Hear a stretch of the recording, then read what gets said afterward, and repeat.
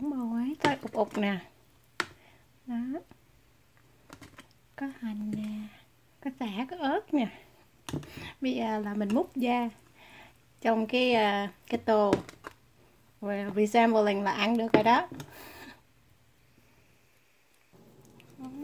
Ra múc ra nè.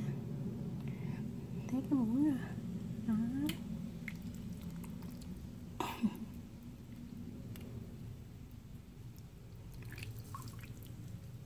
Một nồi.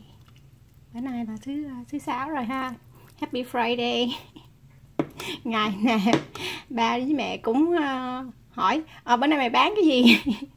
Người ta người ta dịch tới người ta ở nhà người ta làm đồ bán to go rồi tùm lum ra tiền còn mình ăn không không có bán. Mà ngày nào ba mẹ cũng hỏi bữa nay mày bán món gì?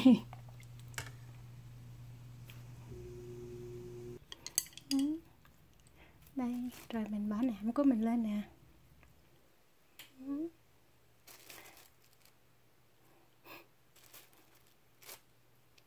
Làm bò nè.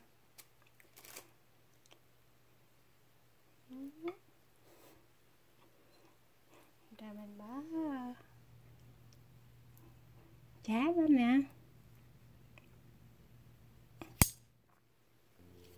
Đó dắt một miếng. Nè. Ngon. Không? Ngon không?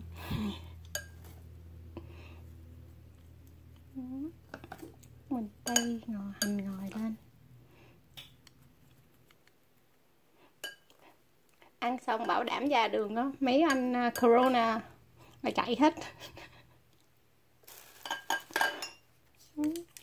Xong người ta bỏ rau vô nè. À, bỏ rau nè bắp chuối nè bắp cải nè. Ừ, bắp chuối nè bắp cải nè. Ngay lọc rau nha. Đó. rau nè còn thích ăn cải thì múc thêm ờ, một miếng um, um, sa tế ở ngoài vô nữa nha. Thì mình thích ăn cay, bỏ thêm miếng sa tế vô. Đó. xong rồi là mình à, nặn một miếng chanh vô.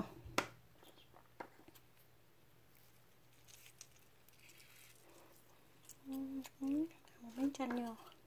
Bỏ thêm miếng ớt nữa. Đó.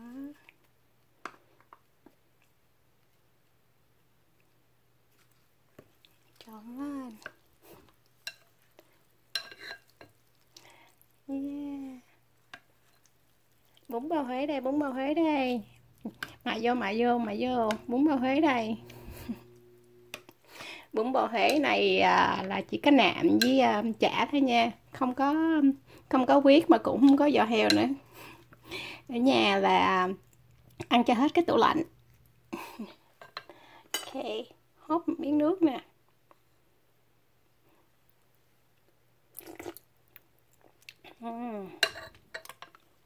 Ngon đáo để luôn. Happy weekend everyone.